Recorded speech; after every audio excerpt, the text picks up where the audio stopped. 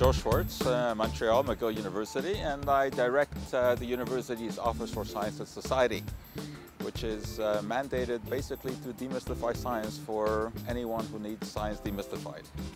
Defining chemicals or chemistry is actually not that simple. You know, I've been in this business for 40 years, and you would think that, you know, you ask a chemist to define what a chemical is, it would be, you know, straightforward. It's not that straightforward, but I mean, we can give it a little bit of a shot. Everything in the world is composed of some combination of the elements. Now, people have a rough idea what elements are. They know that these are the very fundamental building blocks of, of everything, of, of matter. They've heard of oxygen and iron and silicon. Each of these is a very specific atom. An atom of hydrogen is different from an atom of oxygen.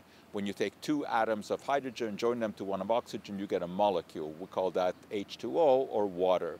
So all matter is composed of some sort of combination of atoms. And these combinations are what we call chemicals. They're not good or bad. Chemicals have no morality, they have no thought processes. We humans do. So it's wrong to ask whether or not a chemical is toxic or not. No, chemicals are not safe or dangerous. There are safe or dangerous ways to use chemicals.